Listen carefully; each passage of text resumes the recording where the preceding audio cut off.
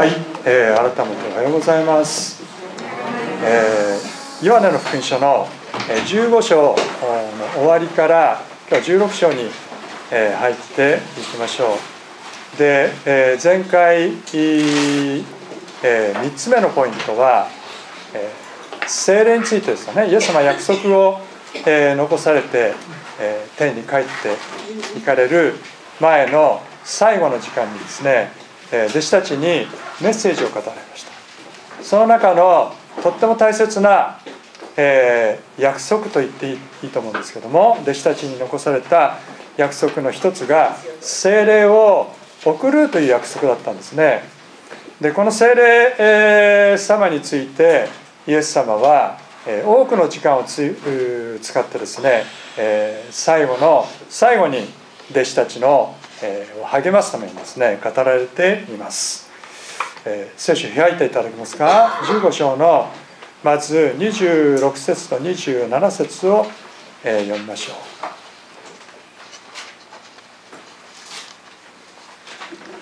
開かれましたか？26節と27節。はい一緒に。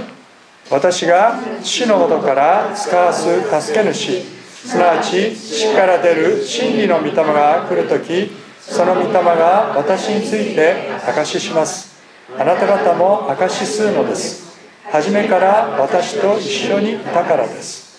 えー、イエス様は聖霊様のことをここではですね2つの呼び方で紹介してしていますね。一つはもうすでに皆さんと一緒に学びましたけども助け主。もう一人の助け主を使わしますというイエス様おっしゃった。で覚えてますか？この助け主のもともとの意味は傍らにいて呼びかける人語りかける人。そういう意味でしたね、えー、また弁護者と私たちのために弁護してくださる、え方そういう、え意味があります。助け主というのはもちろんこうイエス様はそうであったように私たちが問題の中にある時に、えー、その問題に対して解決を与え病の中にある時に 病を癒し文字通りこう救い助け出してくださる方ではありますけれどももう一つの、えー、意味としてイエス様は私たちの弟子たちの傍らに立って語りかけてくださる方また聞いてくださる方でありましたでご自身と全く同じ性質を持った助け主もう一人の助け主である精霊をご自身が去っていた後にですね手に帰っていた後に弟子たちに送るというふうに約束されていたんですね。まず助け主という意味がありましたね、えそして今日はあイエス様はここでですね真理の御霊という言い方をしています。でこの真理の御霊である聖霊様の働きについて、えー、3つのポイントから学んでいきたいんですけれども、えー、次に6章に入りますね。6章の7節から14節開いていただけますか。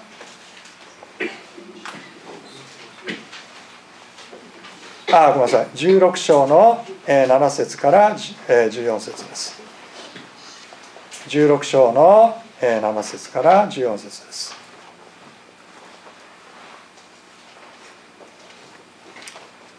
えー、よろしいですか、えー、じゃああここは交互に読みましょうか。私が7節皆さんが8節。交互に、えー、読んでいきましょう。はいまず私が読みます。しかし私は真実を言います。私が去っていくことはあなた方にとって益なのです。それはもし私が去っていかなければ助け主があなた方のところに来ないからですしかしもし行けば私は助け主をあなた方のところに使わします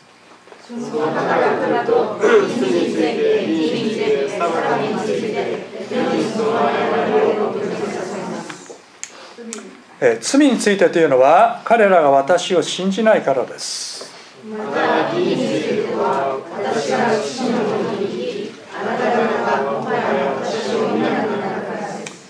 裁きについてとはこの世を支配する者が裁かれたからです。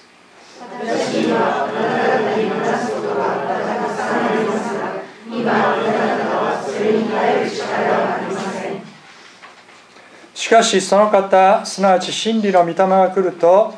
あなた方を全ての真理に導き入れます。御霊は自分から語るのではなく聞くままを話しまたやがて起ころうとしていることをあなた方に示すからです。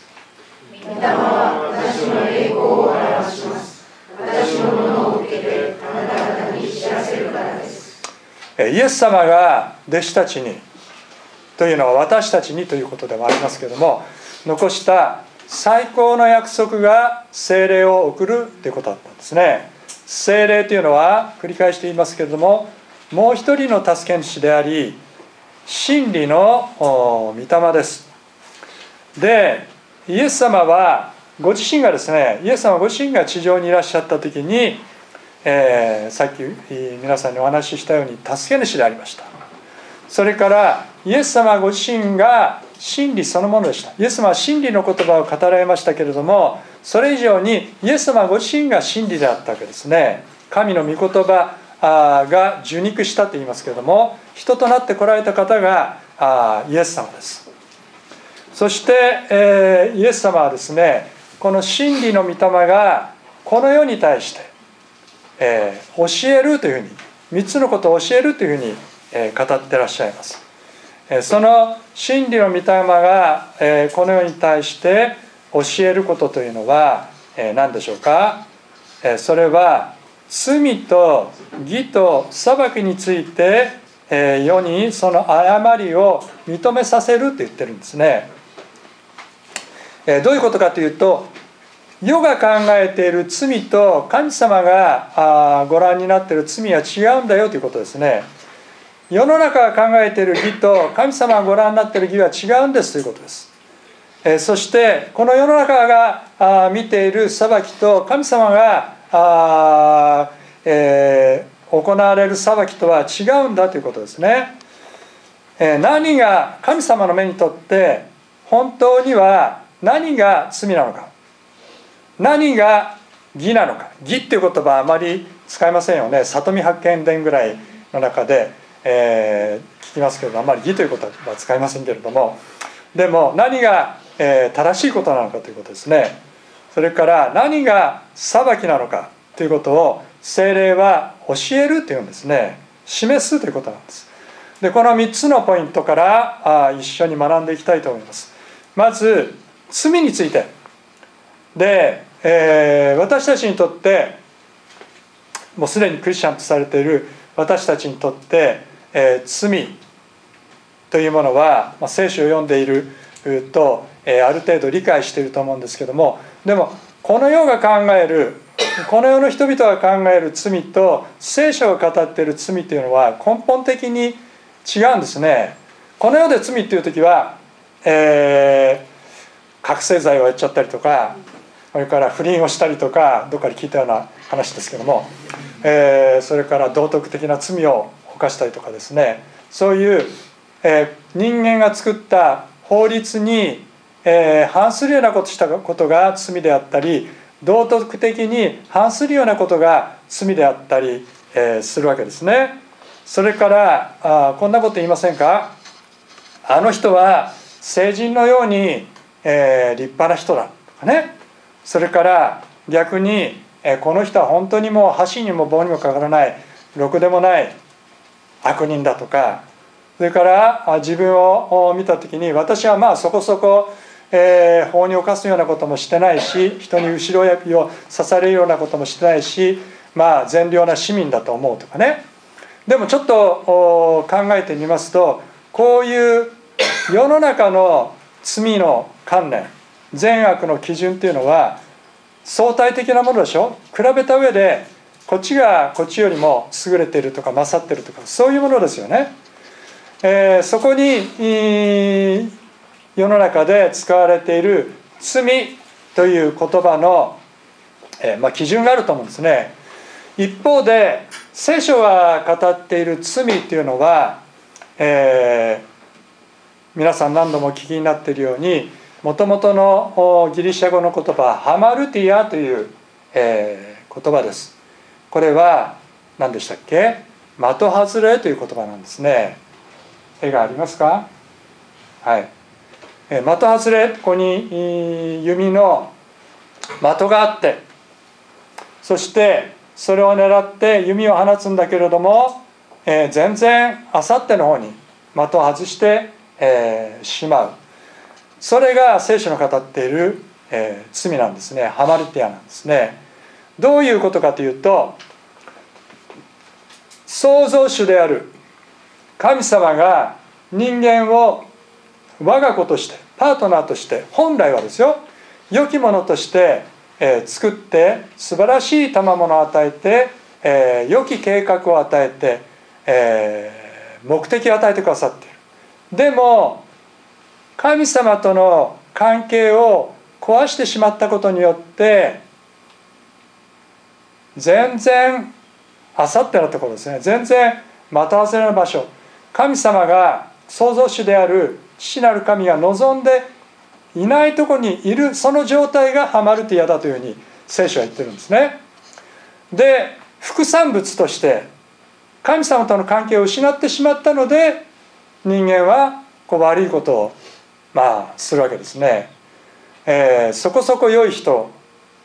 それから、えー、箸にも棒にもかわらない悪い人、えー、結構素晴らしい人いるかもしれない。でも神様からご覧になった時に問題とされるのはご自身と作り主であるご自身と関係を持っているか持っていないかそこに、え着目されるわけですね。ブドウの木の例えがありましたでしょ命の流れてくるのはブドウの幹から流れてきます枝はそこにつながれていますそのつながれた関係を創造主である神様と持っているか持っていないか。人間はそれを壊してしまったと聖書は教えているわけですけどもその原因となる方の罪を聖書はより重きを置いて語っているわけですね。結果としていろんな罪を犯しますよ。人間というのは嘘ついたり騙したり、えー、戦争で人を殺したり人を虐げたりしますね。で、えー、普段はいいかもしれないけれども自分が助かるか人が人が助かるか自分が助かるかっていうような時にはやっぱり自分が何とか助かろうと思いますよね。お腹が空いて空いてもう何食べ物が何もない時に、えー、目の前に、えーえー、ハンナとさやかちゃんが無人島に行ってリュックサックをがたまたま置いてあったのに開けたリンゴは1個しかない。でえー、ハンナがあそれを見たらばおいしさのリンゴ1個だけ残ってる食べ物は他にないさやかに話すか話さないか一人で食べちゃうかどうしようかっていうふうにねえー、もう極限状態だったらば一人でこっそり食べちゃうかもしれませんよね。でそこで分けてあげられたらば素晴らしいんだけども人間というのはなかなかそういう存在ではないですね。普段たくさんものがある時には分けられるんだけどちょっとしかえー、亡くなっちゃった時にはなかなかこう分けられない。それが人間の、えー、本性というか限界に近い部分だと思うんですね、まあ、ちょっと遠回りになってしまったけれどもでも聖書が問題としてるのは人間的な善悪人間的な罪というのは相対的なものだということを言ってるんですね。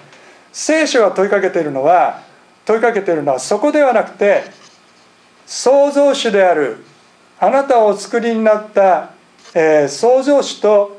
命のある関係を持っているかどうかそこに、えー、神様は目を向けておられるんですね。私たちの今の状態が失敗だらけで、えー、問題だらけで欠点だらけで、えー、罪いっぱい持っててボロボロであったとしても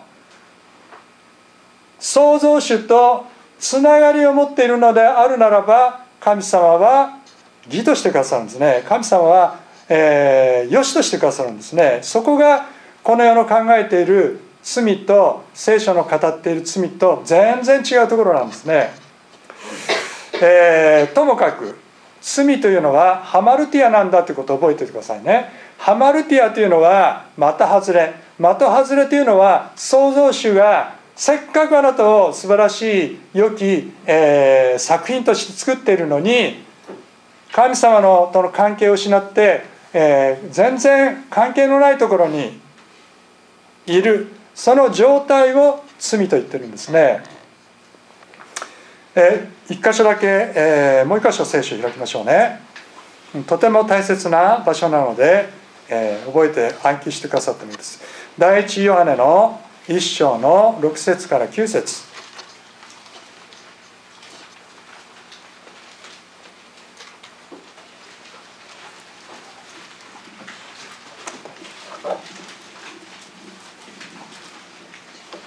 ですか？第一ヨハネの一章6節から、えー、8節3節。あごめんなさい。9節まで読みましょう。6789これを一緒に読みましょうね。1の3もし私たちが神と交わりがあると言っていながらしかも闇の中を歩んでいるなら私たちは偽りを言っているのであって真理を行ってはいません。しかしもし神が光の中におられるように私たちも光の中を歩んでいるなら私たちは互いに交わりを保ち御子イエスの血は全ての罪から私たちを清めます。もし罪はないというなら私たちは自分を欺いており真理は私たちのうちにありません。もし私たちが自分の罪を言い表すなら神は真実で正しい方ですからその罪を許し全ての悪から私たちを清めてくださいます。大切なことをお話しします。罪の自覚と在籍感というのは似てるようだけど違うんですね。罪の自覚と在籍感は似てるんだけど全然違うんですね。在籍在籍感というのは人間を神様との関係から遠ざけてしまいます。罪の自覚というのはあ人間を神様との関係に近づけるものなんですね。似てるんだけどもそこが違うんですね。方向が違うんですね。向いてる方向が。そして、え私たちが、えこの罪の自覚を持ってクリスチャンにとってですよ、え生活日々生活していけるかどうかっていうのはすごく大切なことなんですね。在籍感ではないですからね。罪の自覚ですね。でもこれは精霊様が触れてくださらないと私たちは自覚することができないんですね。精霊様だけが私たちにそこちょっと違うんじゃない？あなたあ心の深くではまだ許してはないんじゃないですか、えーあなたは私の与える最善のものでなくて自分の願っている目に見える一見良さそうにも見えるものを選ぼうとしていませんか？そのように精霊は私たちに神様の目から見て何が正しいのか神様の目からご覧になって何がハマルティアなのかまたおずれなのかを教えてくださる方なんですね。ここが人間が自分自身でできない部分なんですね。えー、私たちは、えー、周りにいる人たちに、えー、変わってもらいたいし、えその願いを持つのは自然なことだと思いますね。夫に変わってほしい妻に変わってほしい子供に変わってほしいお父さんお母さんに変わってほしい。みんなあ幸いクリスチャンとされていたとしてもやっぱり どこかにハマルティアな状態を、えー、持ちながら生きているわけですけれどもでも、えー、大切なのはあこのヨハネの手紙の一章の、えー、中から見ると光の中にいるかどうかを聖書は求めているわけですね。えー、光の中にとどまっているならば精霊は私たちに、えー、罪の自覚を与えてくださる。そして私たちに触れてくださるんですね、えー、鳥なしの祈りをしていくことも大切ですね、えー、なぜならばどんなに、えー、子供に向かって「お前そこにそこ間違ってるよ絶対違うよ」って言ったってかたくなになってしまったらば全然、その言葉っていうのは届かないわけですねでも精霊様が触れてくださるならばあ子供でも自分の身近な関係のどんな方たちでもいいんですけれども聖霊様が触れてくださって初めてその人は変わり始めるんですね。えーえルツは今フィリピンに、えー、行って英語で3ヶ月の間の間、まあ、あと2ヶ月ですけど2ヶ月間の英語で聖書を現地のクリスチャンの方々に、チームのメンバーと一緒に聖書を教える、働きというかトレーニングを受けています。で彼女が前にも話したことですけれどもものすごくクリスチャンホームに育ってて、えー、教会には来てる。それから家庭礼拝にもしぶしぶだったけどなんとなんとなんとかいる聖書を開けば一緒にこう順番にやっていけば読みます。でもどこか僕のあるいはのりこの言葉が届かないというかかたくなというか。そしてしょっちゅうのりことは火花を散らして、えー、ですね台所で、えー、喧嘩して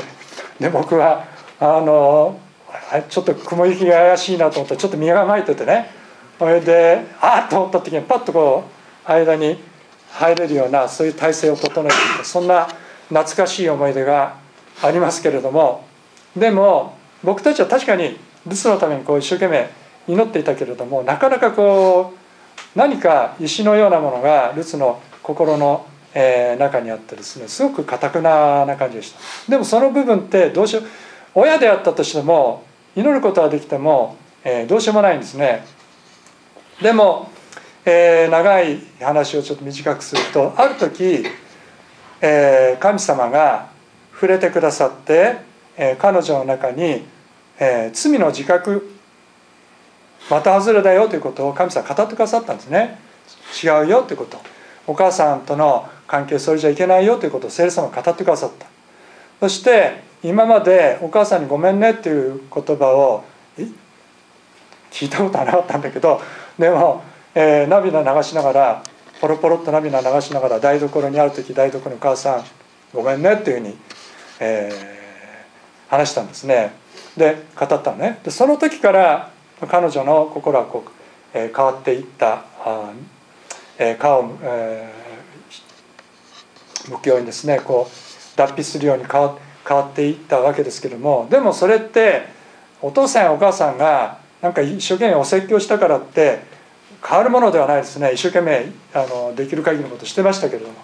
結構疲れてましたけどね。でも精霊様は私たちの届かないところに触れてくださる方なんですね。祈り続けてくださいね諦めないで。祈り続けてください。私たちの心の中には要塞のようなものが常に持ってますからあそれぞれ小さな要塞大きな要塞分かりませんけれどもですね結構皆さんの心の中にも私の心の中にも鉄の扉でできたようなもう見上げるような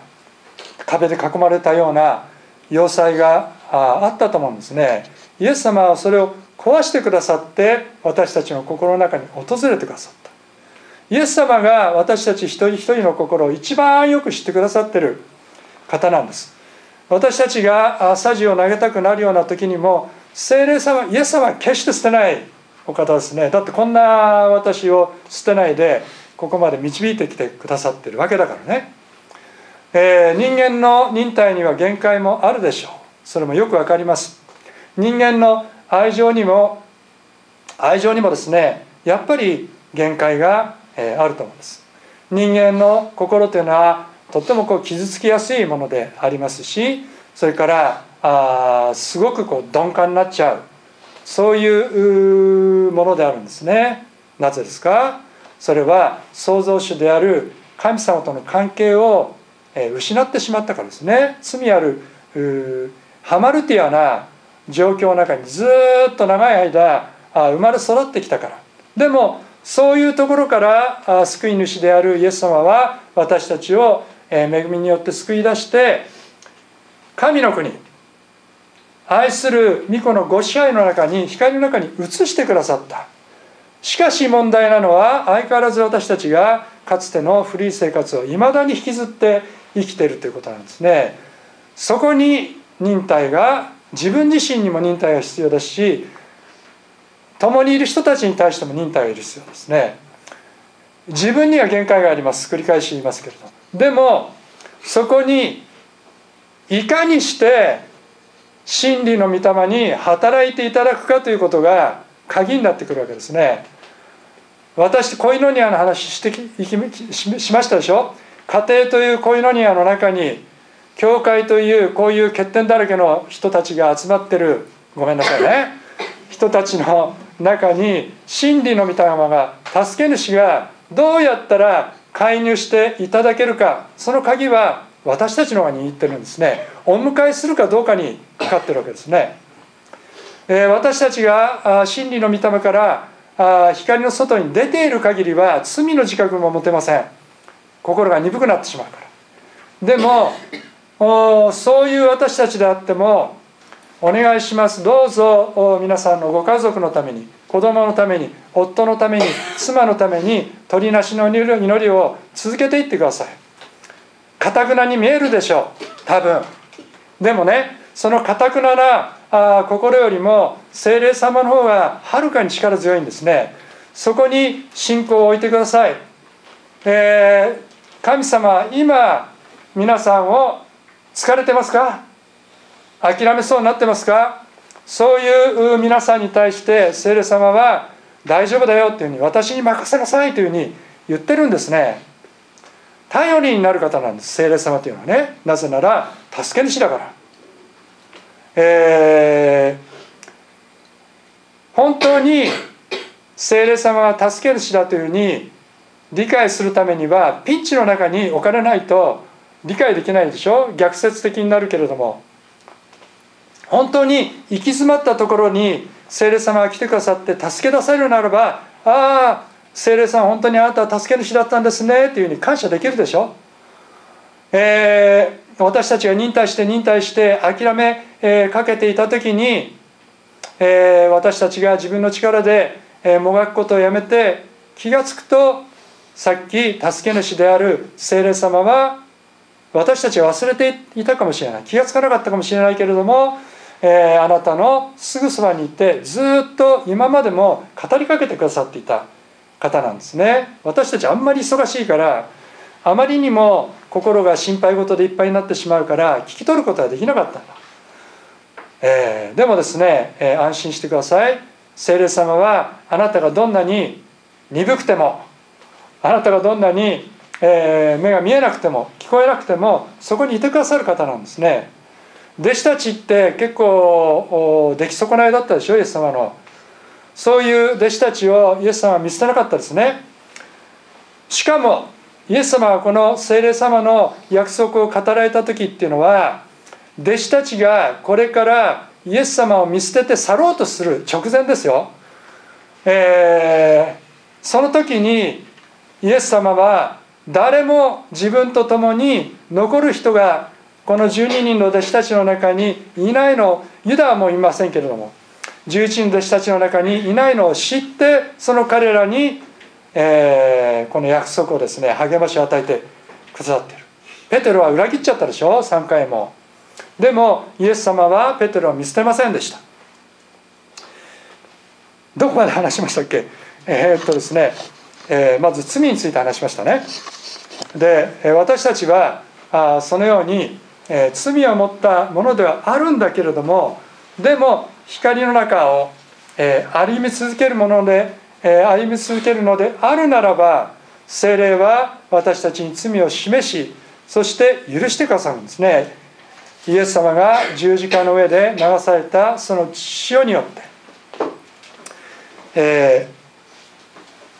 2つ目にですねイエス様は義について語っています。えー、仁義礼智忠信皇帝っていうふうにちょっと古めかしい里見百軒伝の言葉を思い出しますけれども聖書の語っている義というのはそういう義ではなくてですねもともとは、えー、裁判用さっき言ったように裁判用語でしたね。えー義っていうのは聖書の中でいろんな神様は義なる方であるというふうに使われ方もしますしでもここでは裁判の結果あ法に照らせて照らし合わせてこの人は罪がないと。そういう意味で正しいものとみなされた。そういう意味で使われています、えー、それがここで語られている義なんですね。聖書を読むとちょっと分かりにくいでしょ？16章の10節また義についてというのは私が父のもとに行きあなた方がもはや私を見なくなるからです。私がイエス様が天に帰って行って父に迎え入れられることが義なんですっていうのはちょっと私たちがパッと読んで理解しにくいことですけどもでもこれは天の父なる神様がイエス様が贖いの技を十字架の上で成し遂げられた後のことを言ってますよね。えー、全ての代価を支払われて、えー、イエス様がそのミッションと責任を果たしたイエス様を天の御父が良しとされた、えー、あなたは義なるものだとみなして迎え入れるということなんですねただそれだけではなくてイエス様が天に帰られるということは私たちに道を開いてくださったということでもありますね。イエス様は義なる方です、えー、その義なるお方が自分の命を代価として十字架の上で死んでくださった。その時にイエス様に従っていく信じる私たちにも道しのもとに行く道が開かれたということなんですね。正しいものとみなされて神様は見てくださって、えー、天に、えー、罪許されて天に行く道を開いてくださったということなんですね。20世紀の最大の伝道者と、えー、言われている方はどなたでしょうか？とても有名な。そうですね。息子さんが最近、えー、あれはどこだっけ？武道館？武道館で、えー、伝道集会開きましたけれどもビリー・ハムはお父さんですね。今95歳とかそういう高齢の方ですけども彼はビリー・グラハムといえばクリスチャンだったとしてもクリスチャンでなかったとしてもまずアメリカ人だったら知らない人はいないですね、えー、それからあ世界でもビリークリスチャンあ、えー、であればですねビリーガム知ってますか？とか大抵の人は「はい知ってます」というふうに答える。そういう有名なあ伝道者であります。これはちょっと若い時の写真ですけれども。で、えー、1970年代から、えー、2000年ぐらいにかけてですね歴代の大統領の就任式には必ずこのビリー・グラムえー、伝道、えー、先生が来られてですね就任式の祈祷をお祈りをされたんですね。ですからテレビに、えー、彼はですね大統領の牧師というふうに呼ばれてましたしそれからアメリカ国家の牧師そういうふうにも見なされるようなあ偉大なしかしとても謙虚なあ方です。で彼が、えー、もう何十年も前の、えー、お話になりますけれどもある時ですねアメリカ南部の町をどこに向かっていたかは知りませんけれどもドライブしていたそうですね。次の目的地に向かって。でアメリカの道というのはもう果てしなくまっすぐですので、えー、気が付かないうちに景色に、えー、雄大に景色に見とれていたんでしょうか。グラム先生はいつの間にか、えー、スピードオーバーしていました。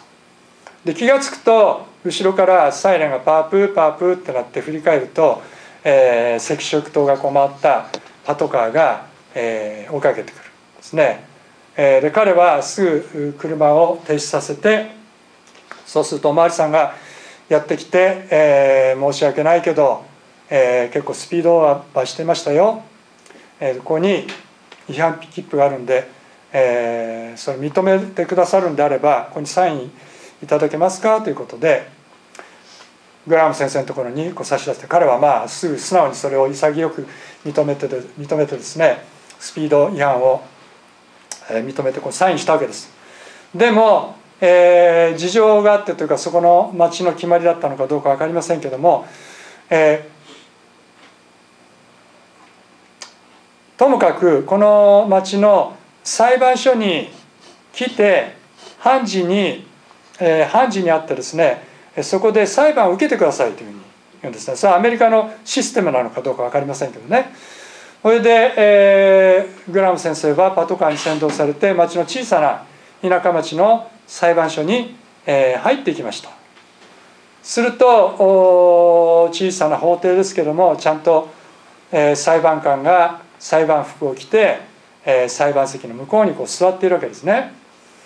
で、えー、目の前に立っているまああ、えー、小さなあ、えー、違反でしたけれども、えー、グラム先生に向かってあなたは、えー、聞くところによると法定速度を速度を10マイルオーバーで走走っていたそうですね。それお認めになりますか？って言ったらば、えー、グラム先生はいあの認めますというふうに、えー、分かりました、えー、10マイルオーバーですので罰金は10ドルになります。と裁判官が言った途端にあ見てみるとどこかで見たような顔だなというふうに思うんですね。でじっと見てるとあれ？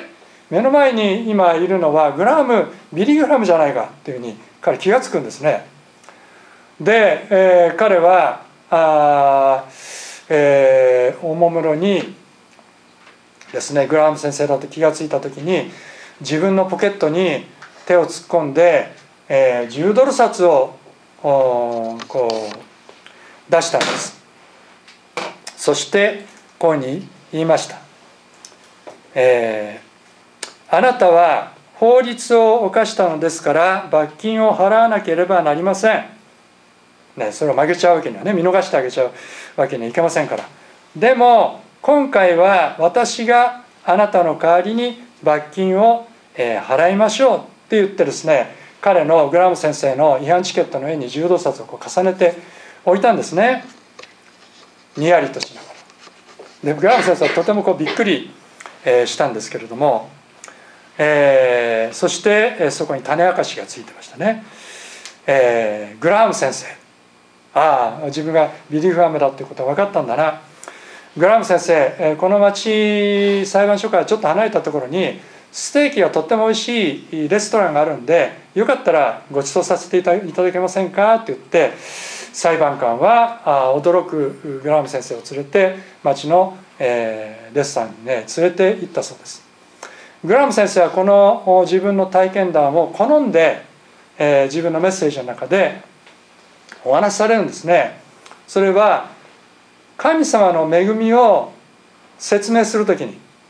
えー、とても分かりやすい自分自身の体験談として、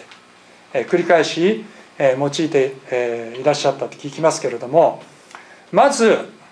振り返ってみましょうか。まずグラム先生とはいえどもスピード違反はスピード違反なわけですね、えー、法律で決められてる制限速度をオーバーしたらばやっぱり罰金を払わなければならないですね。それから裁判官はグラーム先生だからってじゃあ今回はじゃあ帰ってくださいって許してしまったらばいけないでしょそれ。法を守る番人であるわけですから、えー、裁判官はですねなんとかあグラム先生、えー、にですね自分の行為を示したかったけれどもでも法を曲げることは彼はしなかったですね。彼はどうしたからというとえー、自分のポケットマネーからグラム先生の代わりに10ドルの罰金を払ったんですね。それはちょうど私たちが、えー、神様との関係を犯して本当は私たちが罰金を払わなきゃいけない。私たちが裁かれなければいけないのに父なる神様は私たちをああしてくださっているので。罰金ではないですよ。死刑ですよ、えー、ご自身の愛する一人をイエス・キリストの命を代わりに十字架の上で贖いの代価としてですね、えー、捨ててくださったんですね支払ってくださったんですね。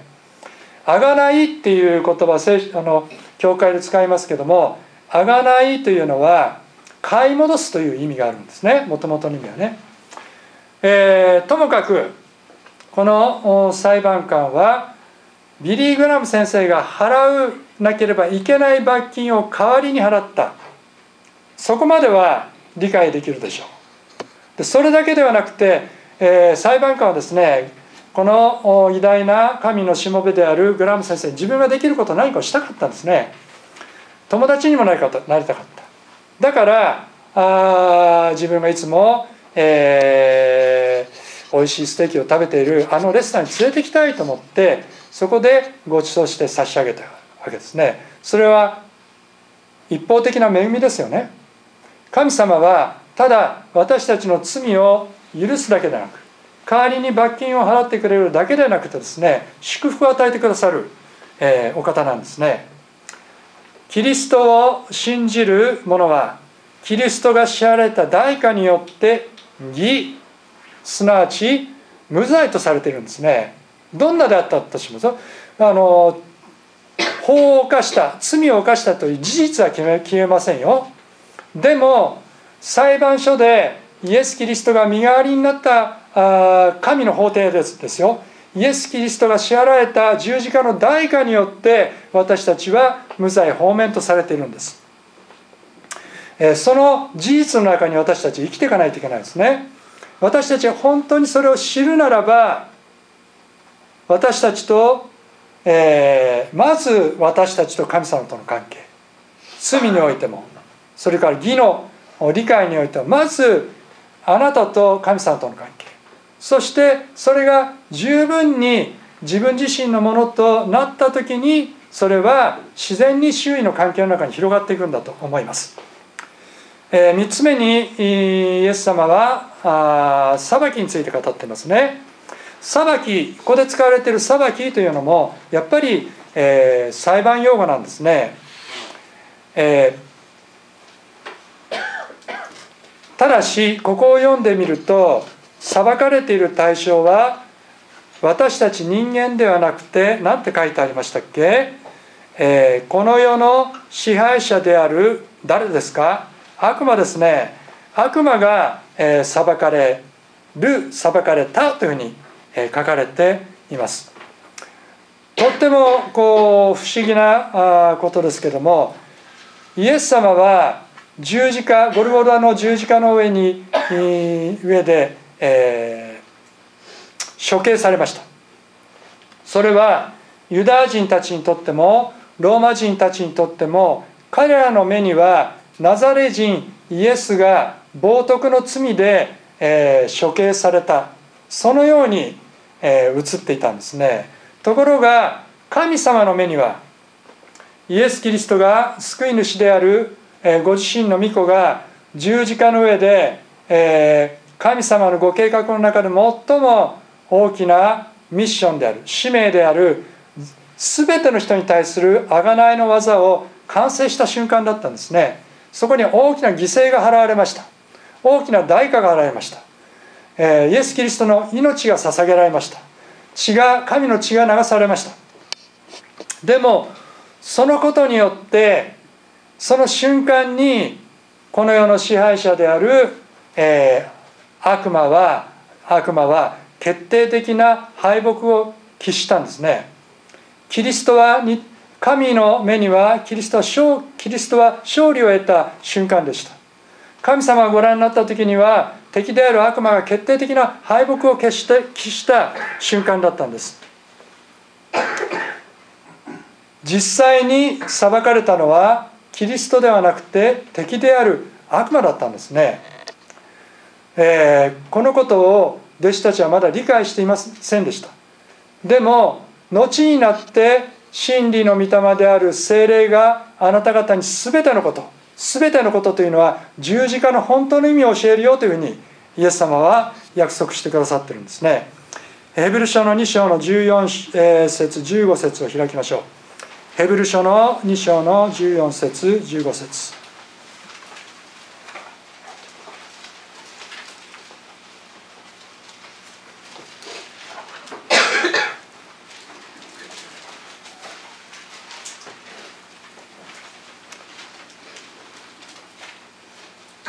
よろしいですか？はい。じゃあ一緒に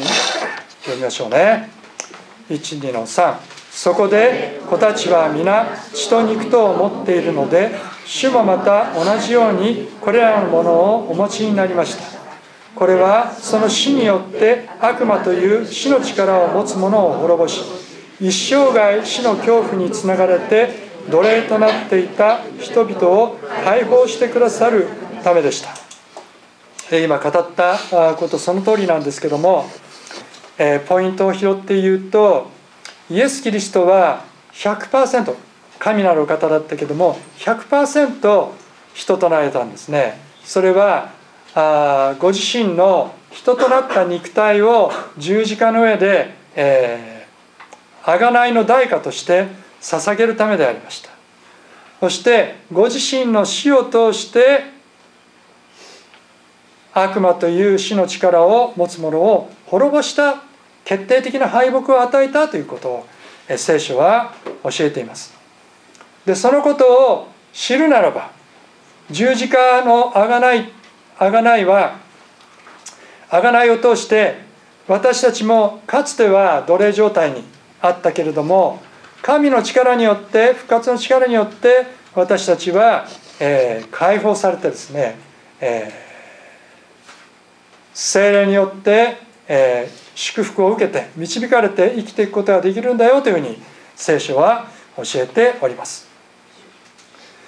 イエス様はご自身が道であるというふうにおっしゃったでしょ。十字架の死と復活を通してキリストは救いの道を私たちのために開いてくださいました。それはあキリストの完全な勝利ではありました。一方で敵である悪魔にとっては有罪判決を受け決定的な敗北のを期した瞬間でもあったんですね。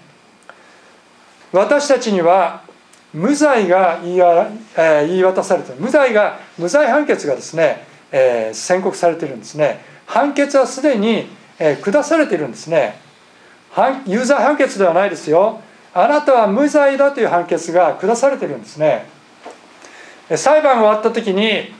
みんな無罪になって無罪わーって言って喜ぶじゃない。あの一審二審で、えー、有罪判決されて、えー、上告してとうとう最高裁まで、えー、行きました。でもとうとうそれまでの努力が実って最高裁判所の、えー、裁判官が無罪という判決をした。もう自由の身なんですね。誰からも後ろ指をさせる必要はないんですね、えー、なぜならばあ法の万人である最高、えー、権威が与えられている裁判所が無罪だというふうに、えー、判決を下したからですね。私たちに対する判決は下されています。クリスチャンであるならばそれは無罪だということなんですね。あなたの状態がどんなであったとしてもですよ。